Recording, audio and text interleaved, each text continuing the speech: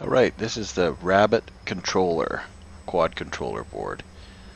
Uh, just hooked up the new sonar unit, the blue board.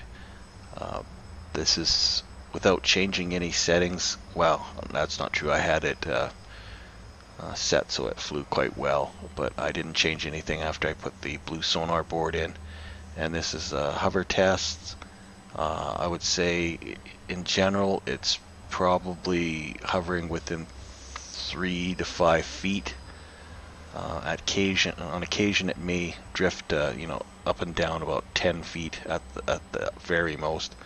There's probably about a 10 kilometer per hour wind. Um,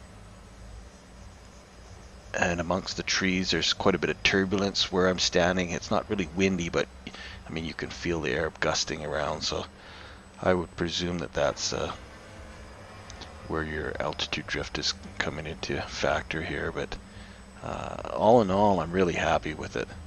Uh, before I put the sonar board in, it basically didn't have altitude hold, and as you can see now, uh, if it wasn't drifting sideways, um, I could basically just stand out in the middle of the cul-de-sac and not touch the controls at all. During this whole eight minute flight, I actually didn't touch the uh, the throttle stick uh, at all. All I was doing is adjusting your the pitch and and roll, and I don't believe I even touched the yaw control on it. So it, I'm pretty happy with it, to be honest with you. Uh, I may even buy a GPS unit now. Anyways, thanks for watching.